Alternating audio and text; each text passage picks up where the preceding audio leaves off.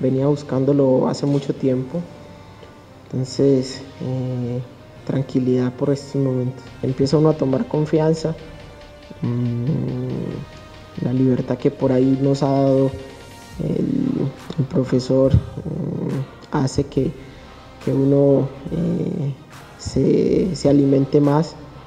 Mm, esperemos de, que ese gol eh, me inspire para, para seguir trabajando bien, para seguir haciendo las cosas bien.